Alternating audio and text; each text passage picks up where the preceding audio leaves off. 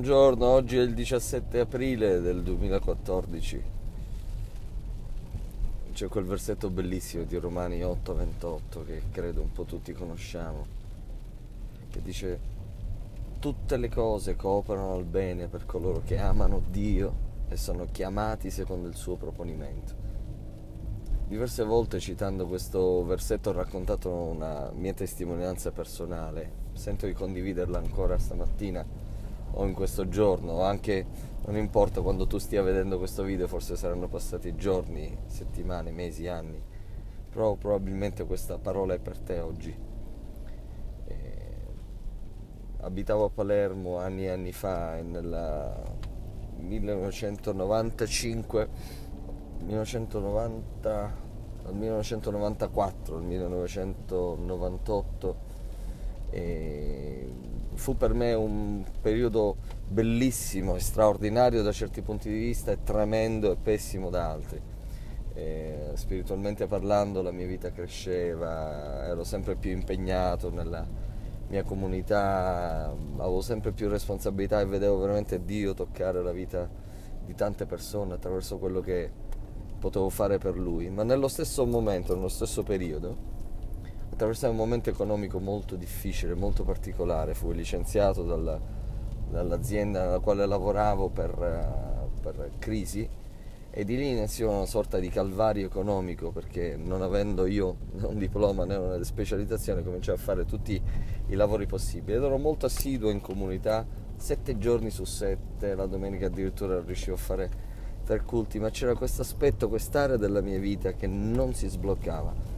E credevo, dichiaravo, confessavo, davo la decima, facevo un sacco di cose, ma niente, per quattro anni e mezzo abbondanti questa situazione fu tremenda. Mi ricordo una sera ero a casa, stavo per andare a letto e ero veramente disperato, non avevo soldi, non, non riusciva, a stento riuscivamo a comprare il pane in alcuni giorni, avevo già, eh, già sposato, poi in questi anni anche arrivarono pure i primi due ragazzi, i figli, Davide e Alessandra. Fu un momento molto difficile. Mi ricordo in una di queste serate Dio mi disse vai nel salone, stavo per andare a coricare, vai nel salone, prendi un foglio di carta, una penna, apri la Bibbia, prendi la chitarra perché voglio darti un canto.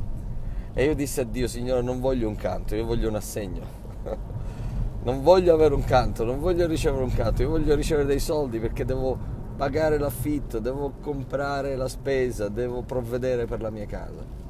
E devo dirvi che ogni volta che io gridavo, piangevo, mi sbattevo la testa al muro e, e andavo avanti, Dio continuava a farmi delle promesse. Non mi dava mai una risposta per quel momento che stavo attraversando, ma mi dava sempre delle promesse. Ringrazio Dio per come il Signore ha anche usato tanti fratelli e sorelle per benedire la mia vita, per provvedere a me e alla mia casa. Lavoravo 13 ore, 14 ore al giorno in alcuni momenti e non riuscivo, era come mettere una, dei soldi in una, bor- una, borsa forata, come è scritto nel profeta Geo. Insomma fu un momento molto difficile. Nello stesso tempo insegnavo nella scuola biblica, vedei facevamo evangelizzazioni, vedevamo non decine, centinaia di persone convertirsi, guarigioni straordinarie, testimonianze impressionanti. Quando insegnavo sulla fede, vedevo le persone che venivano da me e mi dicevano Corrado ha insegnato sulla fede, ho pregato, ho dichiarato, Dio ha risposto. E io mi mangiavo le mani perché dicevo perché funziona con altri e con me no. Insomma, un momento tremendo.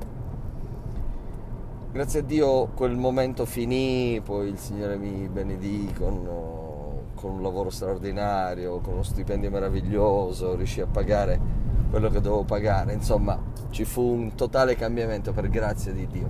Ma perché sto dicendo questo? Perché parecchi anni dopo mi ritrovai in una comunità in Italia e una sorella molto cara venne da me e mi disse Corrado io voglio raccontarti una testimonianza, io sono mamma di due figli e quando uh, ho saputo di essere incinta del secondo figlio. Nell'ecografia mi dissero che mio figlio aveva la sindrome di Down. Disse io non potevo sopportare questa idea e per fare breve la cosa, dissi io volevo suicidarmi, volevo buttarmi al balcone io e fare morire con me anche il bambino che avevo in grembo. Avevo già deciso, avevo già programmato, avevo fatto andare via tutti quanti, quella mattina mi trovavo solo a casa e in un momento così di lucidità presi una cassetta, la misi nella, nello stereo, mi trovo quasi sul balcone e quando eh, accesi la radio sentii quella canzone tua che diceva quando passerai attraverso le acque io sarò con te perché, perché tu appartieni a me. Dice, lei mi disse io non so quando hai scritto questa canzone, non so che cosa stavi passando, non so come è successo, cosa è successo nella tua vita e come era la tua vita in quel momento, però voglio dirti, Corrado, che tu hai ricevuto quel canto per me. E dissi, ero nel balcone di casa mia e mi inginocchiai e cominciai a chiedere perdono a Dio per quel pensiero, ma subito dopo cominciai a ringraziare Dio per quel dono che avevo in grembo lei portò avanti la gravidanza, oggi questo ragazzo ha un bel po' di anni ed è veramente una grande benedizione, una grandissima benedizione. Ora perché sto dicendo questo? Questo è il canto che io ricevetti proprio in quel momento disperato della mia vita. Certe cose che stiamo passando ora noi non le comprendiamo e non le comprenderemo, ma probabilmente le comprenderemo a suo tempo e quando arriverà il momento in cui eh, comprenderemo questo, riusciremo sicuramente ad incoraggiare altri. Io non so che momento difficile stai attraversando, però voglio dirti che questo momento difficile non è solo per te. E questa è una rivelazione che il Signore mi diede che voglio condividere con voi.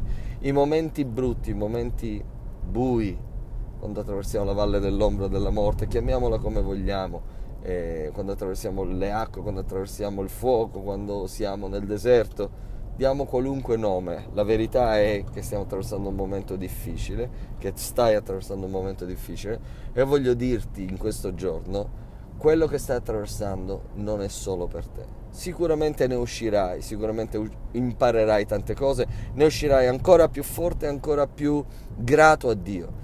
Però voglio anche dirti di avere una visione un po' più ampia tutte le cose che operano il bene per coloro che amano Dio e sono chiamati secondo il suo proponimento. C'è un proponimento, una chiamata nella tua vita e quello che stai attraversando ora appartiene alla chiamata di Dio nella tua vita. Un giorno tu testimonierai di quello che stai vivendo ora e altri saranno incoraggiati e altri troveranno la fede per uscire o per affrontare questa tempesta. Quindi quello che stai attraversando non è solo per te, è anche per il beneficio di altri. Quindi fatti forza perché tu non solo affronterai, non solo camminerai in mezzo alla tempesta, ma ne uscirai a testa alta e vedrai la gloria di Dio non solo nella tua vita, ma anche nella vita di altri quando ne parlerai, quando ne testimonierai. Dio ti benedica. Una buona giornata.